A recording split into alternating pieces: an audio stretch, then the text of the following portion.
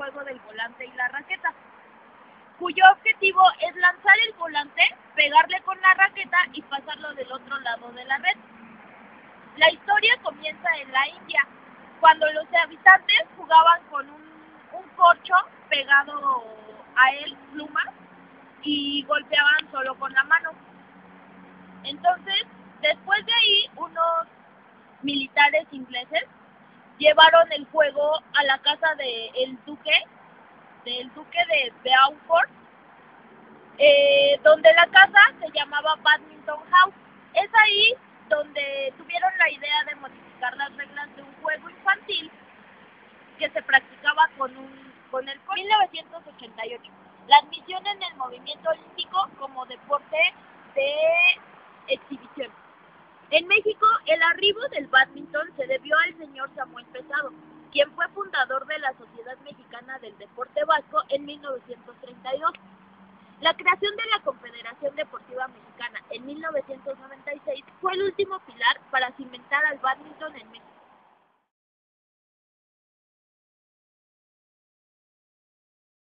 El terreno de juego es de un rectángulo de 13 metros 40 centímetros por 6 metros 10 centímetros para el juego de pares y de 13 metros 40 centímetros por 5 metros 18 centímetros para individuales. Está dividido en dos partes iguales separadas por una red central de 75 centímetros de anchura, sujetada a unos postes de 1.55 metros de altura. A cada lado de la red corre en paralelo a 1.98 metros la línea corta de servicio. Tras ella está la zona de servicio, a su vez dividida en dos, por una línea perpendicular a la red en cada lado. Al final del área de servicio está la línea de servicio larga, que delimita la línea de fondo en los partidos individuales, mientras que en los dobles está en 83 centímetros por detrás.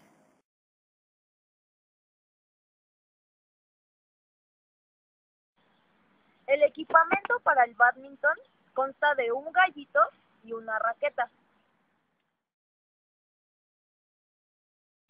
El gallito volante o móvil es una pieza semiesférica de corcho en la que se introducen y pegan de, de 14 a 16 plumas de 6 centímetros de largo aproximadamente. O, en este caso, pues ya los venden en el, en el supermercado o en cualquier tienda de deportes y son de material de plástico. A la cabeza en la que estas, o sea, las plumas están sujetas de esfera de 2.54 centímetros a 2.86. Su peso total está entre los 4.73 y 5.50 gramos. O sea, es muy ligera.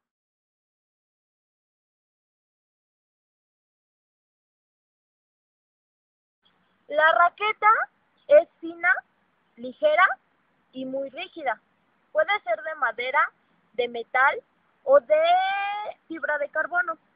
Sus dimensiones son 8 centímetros de, lo, de longitud por una anchura de 23 centímetros aproximadamente. Consta de un mango, de un tronco y de la cabeza, donde está la superficie de golpeo con cuerdas. El material es sintético, entrelazada y sujeta al marco. Su peso está comprendido entre los 100 y los 140 gramos. Para realizar la raqueta se necesita una caja de cartón, tinta de colores, esta va a servir para adornarla, tijeras, rubí, tinta canela, hilo cáñamo, una aguja, alambre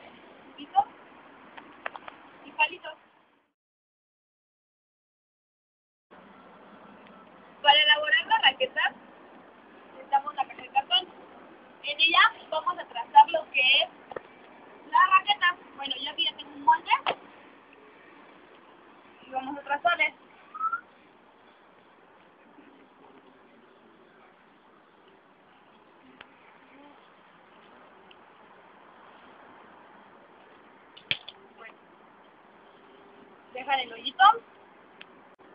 Ya que tienes trazado, vas a cortar. Ya que tienes la raqueta lista, la vamos a forrar con la cinta de color para que se vea más bonita.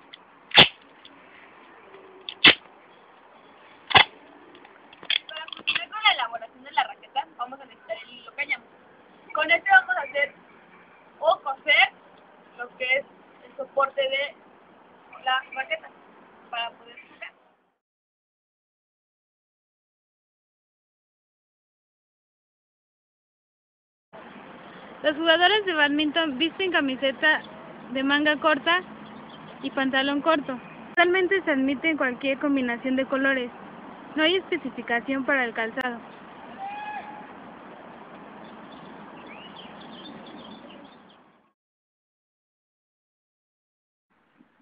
Las formas de jugar son individual, uno a uno, o doble, dos a dos.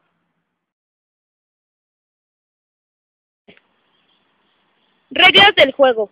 Se comienza por el saque, desde el área de servicio opuesta, devolviendo el volante sobre la red, golpeando en una sola ocasión. El saque se hace del lado derecho y para hacerlo hay que golpear el volante por debajo de la cintura.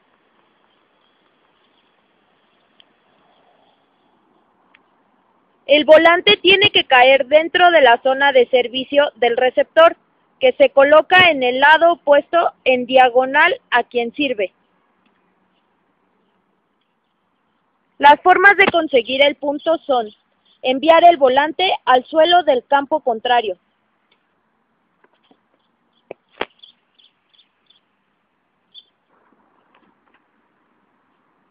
O que el adversario envíe el volante fuera de los límites de la cancha.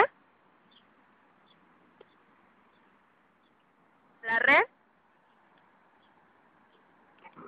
Lo golpee más de una vez antes de devolverlo al campo contrario. En los partidos masculinos y dobles se juegan tres sets de 15 puntos cada uno, mientras que en los femeninos hay que llegar a 11. Si se llegara al tercer set, que cambiará de campo a los 8 puntos en masculino y a los 6 en femenino.